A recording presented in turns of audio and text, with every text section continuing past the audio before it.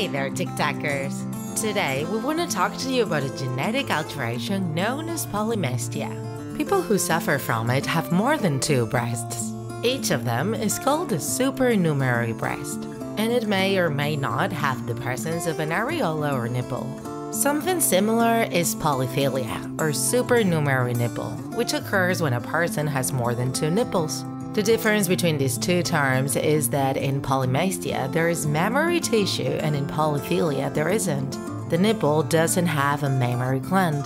In both cases, these extra breasts or nipples are usually found following the so-called mammary lines, which are imaginary lines that go from the armpit to the groin. In the case of polythelia, they are usually small and can even be confused with warts or moles.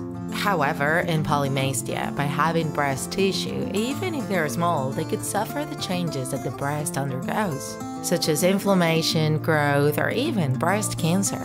So in these cases, it is recommended to remove them. The incidence of polymastia in the population ranges between 0.4 and 6% and can affect both men and women. Generally, both polymastia and polythelia are not serious disorders and are not associated with other problems. However, people who suffer from it tend to consider it an important aesthetic problem that affects their self-esteem, so they often ask doctors to perform surgery on them.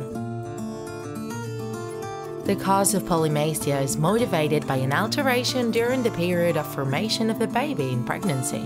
Sometimes where the breast doesn't have a nipple, it can be confused with another disorder, such as a tumor. In these cases, ultrasound or a clinical examination can help the patient to diagnose this condition. The size of these breasts is variable because it can be a little developed breast tissue under the skin, which is barely visible on the outside, or have a larger size. These supernumerary breasts become more visible when hormonal changes occur or when there is weight gain, because the mammary gland is also made up of fatty tissue.